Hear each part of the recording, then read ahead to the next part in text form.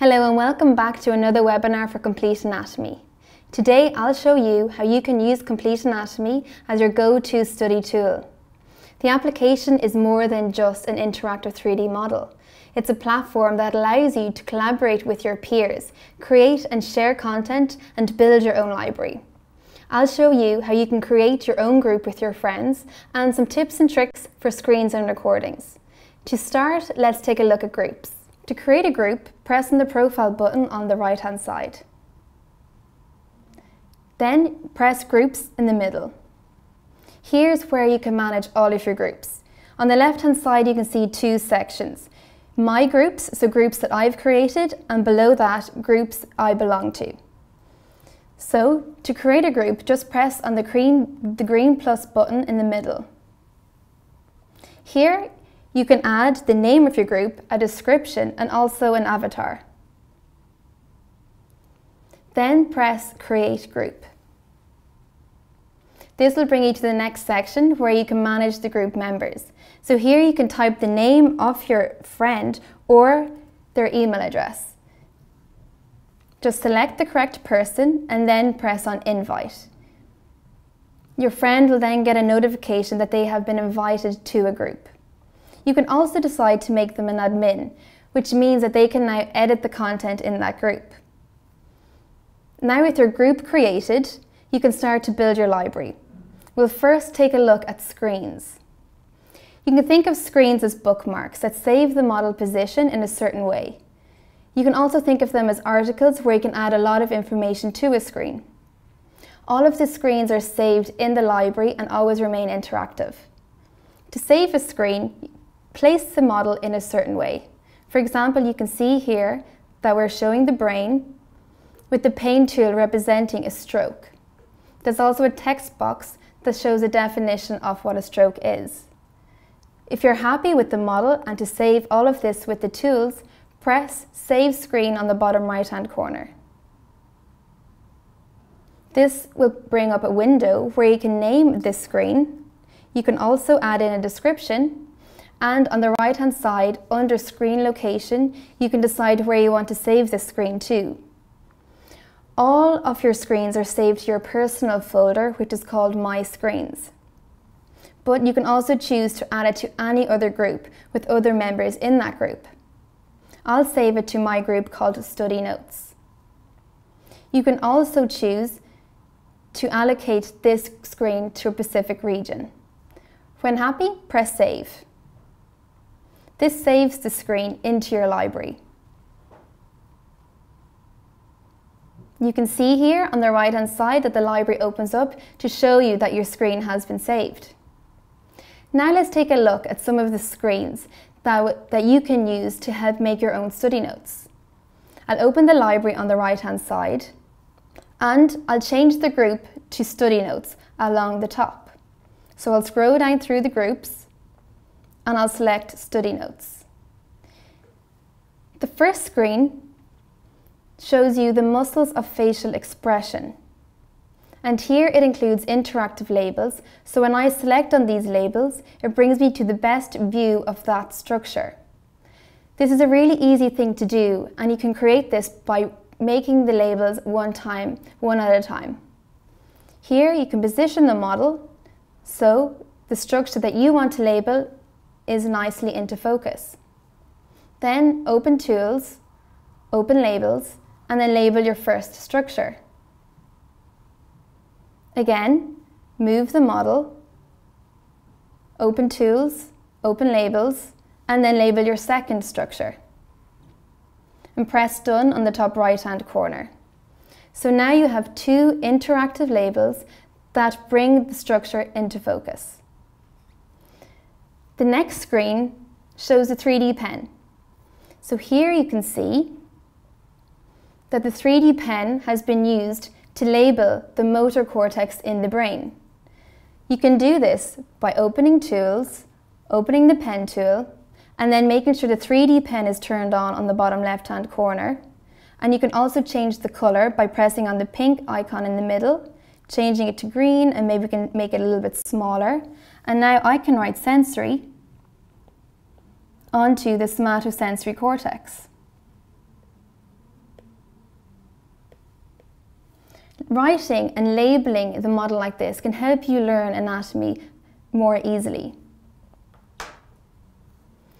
The next screen is an example of using labels and text boxes. So here you can see that there's labels on the left hand side that show the anatomical structures of the stomach and on the right hand side there are text boxes and you can change and add fonts to the text box by double tapping on it and using the bar along the top where you can change the font size or even the colour. Next is a good example of uploading images onto your screen. So here you can see that there is a rotator cuff tear as well as an MRI scan. And you can use the 2D pen to highlight on the model where this tear is and compare it to the tear on the MRI scan. The final screen I'd like to show you is taken from our undergraduate course. And this screen has a really cool feature with group labels. So as you can see on the screen that there's only arteries. However, if I select the first group label, the kidneys appear to show that these arteries supply the kidneys. And that is because the kidneys are part of this group label. As well as the second label shows the suprarenal glands, and the third label shows the diaphragm. So again, this is because these group labels include the diaphragm, even though these structures were hidden when the screen was saved. You can also view the screen description by pressing on the text box icon the, along the top left hand corner. So here you can read your notes.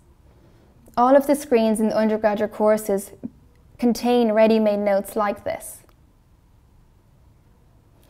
You can also edit any of your screens and you can share your screens with any other group. Let's open the library and I'll show you how to do this. As you can see uh, at the front of each screen, there are three little green dots. If you just select on these green dots, you'll see a pop-up menu showing a copy and paste button, an edit button, and a, and a delete. Select the copy and paste button if you want to share the screen with any other group. Select on the edit icon if you want to edit the screen. So here you can manipulate the model any way you like, for example, let's go ahead and add in a label.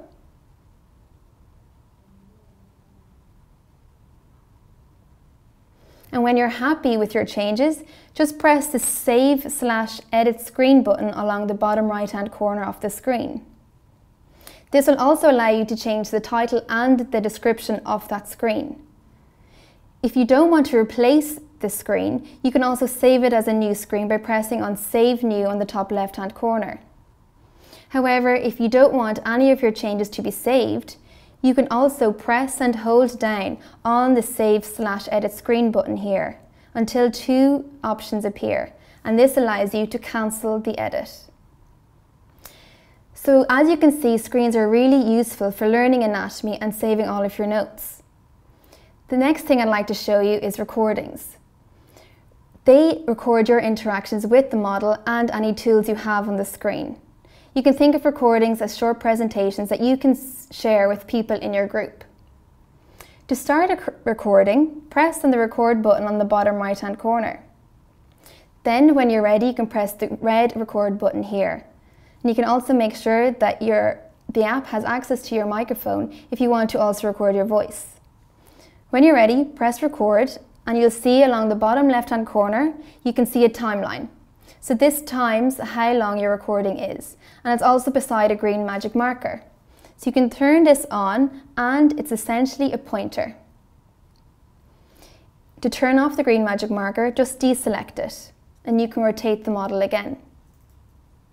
If you want to pause or finish your recording, press on the red record button on the bottom left hand corner. This gives you three options.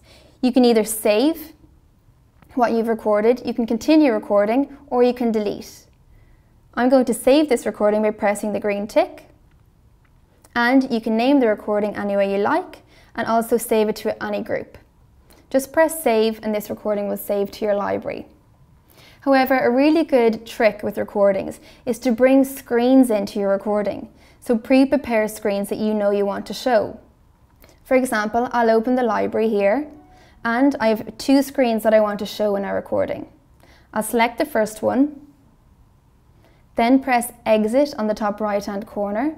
So now I can press record. I can press record here and I can interact with the model. And I can also use the green highlighter pen.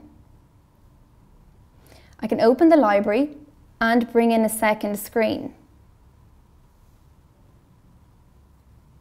Which you can see has a text box already populated in it. I'm going to stop this recording and I'm going to save it as well. I'm going to save this recording to my study notes. Press save and this recording was saved to my library. When we play back this recording, you'll see that it hasn't recorded that I've had to open the library. It just records the, transi the transitions between two screens. I'll open the library again. Now I'll change from screens to recordings on the left hand side to view the recordings and I'll select the recording just by playing it. So here you can see my interactions with the model as well as the green highlighter pen and you'll see a nice transition into the second screen.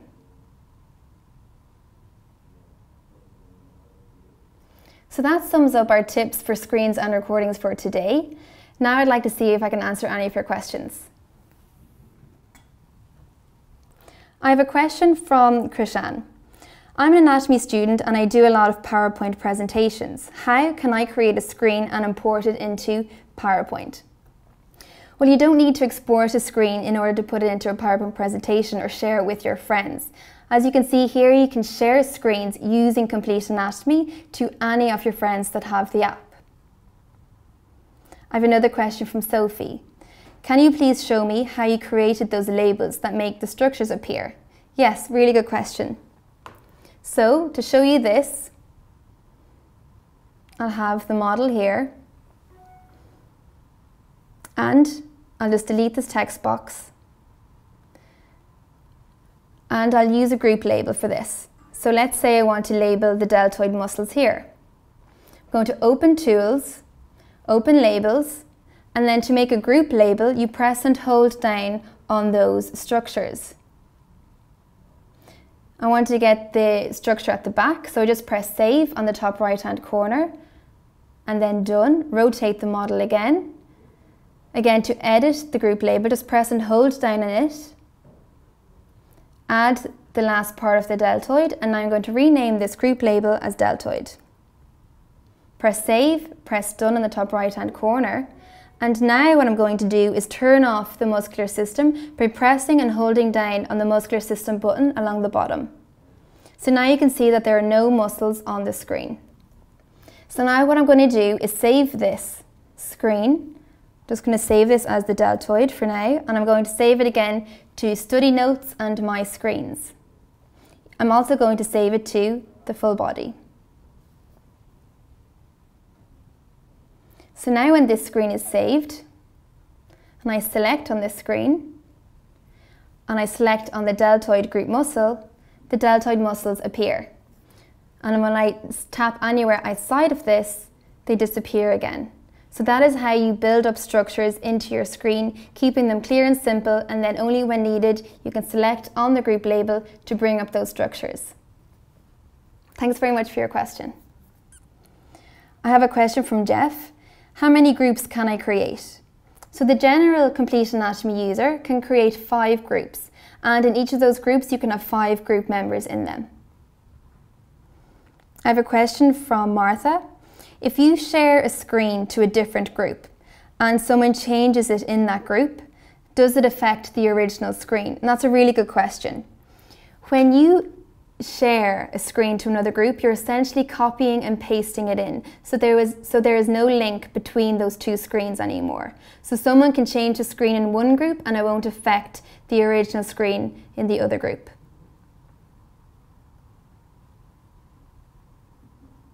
Okay, to see if any more questions.